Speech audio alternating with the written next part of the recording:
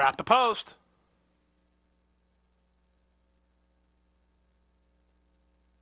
And they're off. In the center, Svetic begins the best and goes looking for the lead. Ridden hard inside is Papa Upa with Jax Comprise. Papa Upa goes up to take the lead. Jax Comprise and Sap Svetic are second and third with T minus on the outside fourth. Deep consideration is in tight between horses and down to the rail, one proud dude. Then it's a length and a half back to Barik Winier. To his inside is Rememorar and five lengths to the trailer. The trailer is Starship Menace. They went through the opening quarter in 22 and 3, and Papa Upa has the lead now by a length. One proud dude is there. Second, Rios looks for clear passage for deep consideration.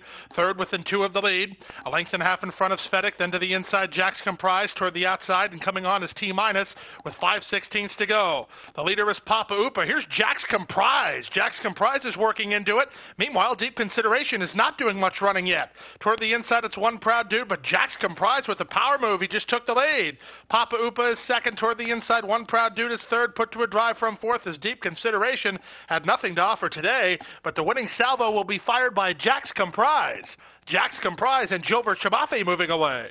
Papa Upa second, one proud dude third. Jax Comprise in an upset.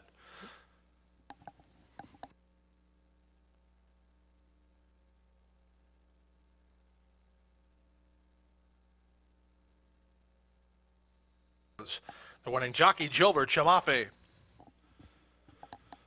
Winner returns 38 40 12 20 and $10. Second two, Papa Upa, $7 and 680 Second her third, number one, One Proud Dude, 1520 Pick three, 126.70. The daily double, 117.80.